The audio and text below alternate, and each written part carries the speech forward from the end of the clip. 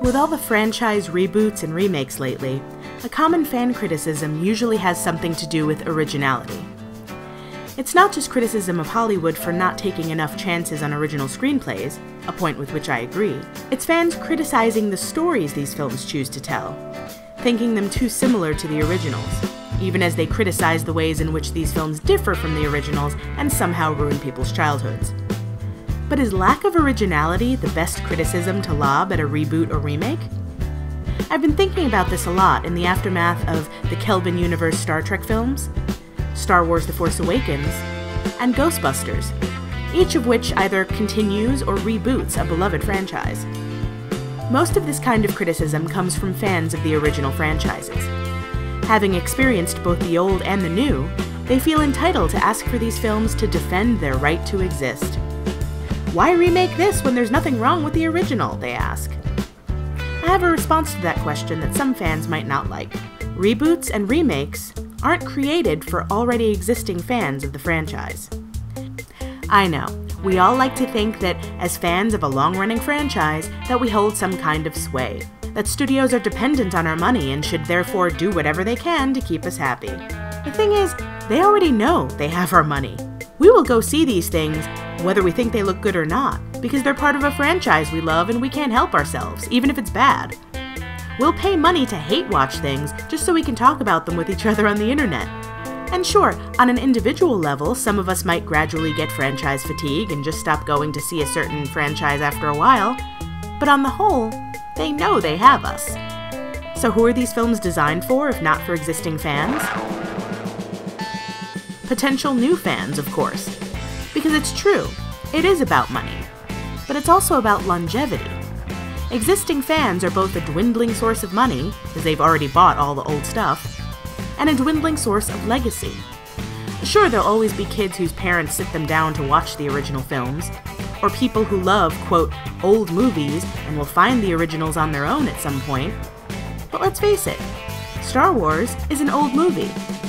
Ghostbusters is an old movie. Star Trek is an old show. And most young people, when given a choice, don't want to watch something old. They want to watch something that's theirs. While my older siblings started me out on Star Trek by introducing me to the original series and reruns, it was when Star Trek The Next Generation came out that I truly fell in love with the franchise, because it was then that it became mine and made me obsessed with all things Trek.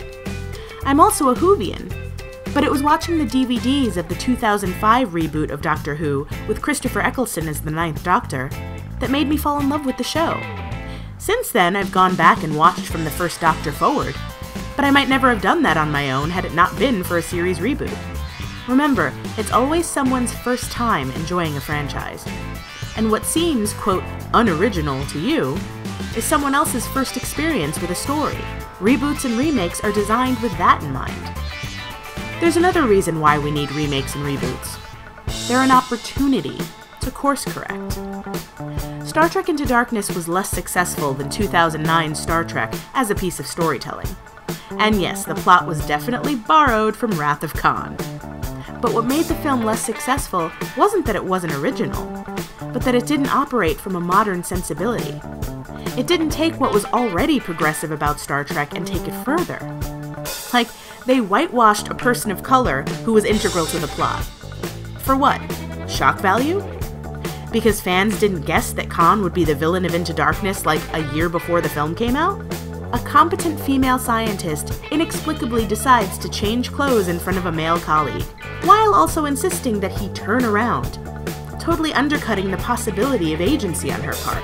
Like, I'll change in front of you because I don't care. Or, playing it as a sign that men don't look at women like pieces of meat by having her comfortably change in front of Kirk unafraid while he talks to her without ogling. It changed things for the sake of change, while failing to capture the spirit of what makes Star Trek so special.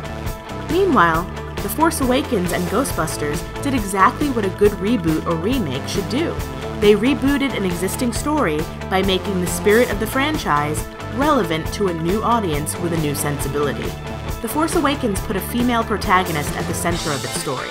There have always been female fans of Star Wars, but this was the first time in the films they were able to see themselves in someone other than Princess Leia or Padme Amidala, who are both great characters, but always secondary to Luke or Han or Obi-Wan or Anakin. Ghostbusters allowed female viewers to see themselves for the first time, not as the objects of Peter Venkman's lusty desire, or as the secretary pining for Egon, but as an entire team of heroes. Putting women at the center of a story, even in a beat for beat retelling, still changes the story. It changes how the characters within the script respond to the characters, as well as how viewers respond to the franchise. The Force Awakens and Ghostbusters also address the need for other types of representation. The Force Awakens surrounded its female lead with a black lead and a Latino lead, giving a Star Wars film non white leads for the first time in its nearly 40 year history. Ghostbusters continued to have one of the Ghostbusters lusting after ladies, but that person wasn't a dude. Both films also took a look at themes from the original films from a modern perspective. In the original Star Wars, we watch Alderaan and the Death Star explode without any real feel for the human cost of those events. In The Force Awakens, however, we see the Starkiller Base attack on the Republic capital from the ground, standing with the people as they're about to be destroyed. In Ghostbusters, we see the cost of toxic masculinity through the film's villain, Rowan, an amalgam of every entitled, misogynistic troll you've ever come across on the internet.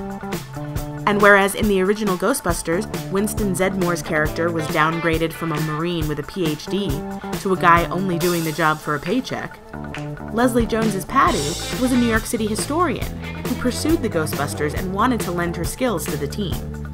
This isn't to say that all reboots are perfect. There are plenty that suck. But I would argue the reason they suck has very little to do with how original they are, and more to do with how they fail to combine the spirit of the original with the needs of a new audience. Do you have a favorite film reboot or remake? Is there a reboot or remake that made you fall in love with an older franchise? Share them in the comments below. See you next time.